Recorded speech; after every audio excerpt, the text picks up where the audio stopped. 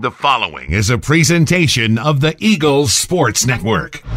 Very nice, wonderful hospitality here uh, in, in Brevard, North Carolina. Chuck Benson sits down, sees a Reese's Nutrageous, and just starts salivating. It's going back to Jefferson City with us. It, it- it will be, but it'll be in my possession. Oh, okay, okay, fair enough. You can fair have the pretzels. yeah, fair enough.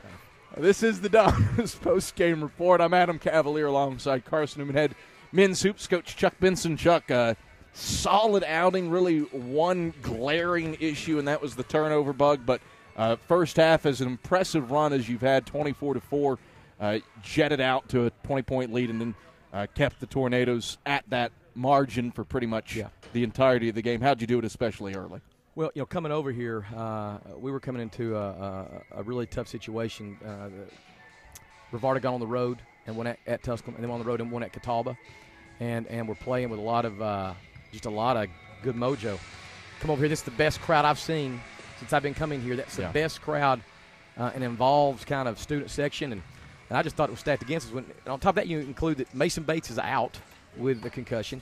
Jared Johnson was not going to play and and just because he's a tough guy, and and told me, man, look, I'm I- I'm going to try to gut this thing out. We, we we need some leadership. So we had a lot of stacked against us. But having said that, our guys came out with a great deal of focus on our on our report.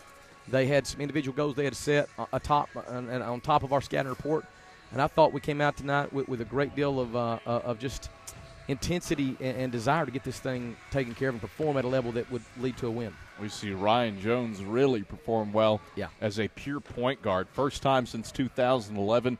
And Bradley Toomer, Oh yeah, a team or a player with 10 assists. Ryan Jones finishes with 10, not to mention five points and five rebounds. What about the job he did Well, distributing? we, we've been thinking all along that he had the ability to do that, and we've been encouraging him. Obviously, he's a freshman, and um, and it's it's hard, man. It's hard when you're a freshman to come in and, and really be as productive as you are like your last year in high school.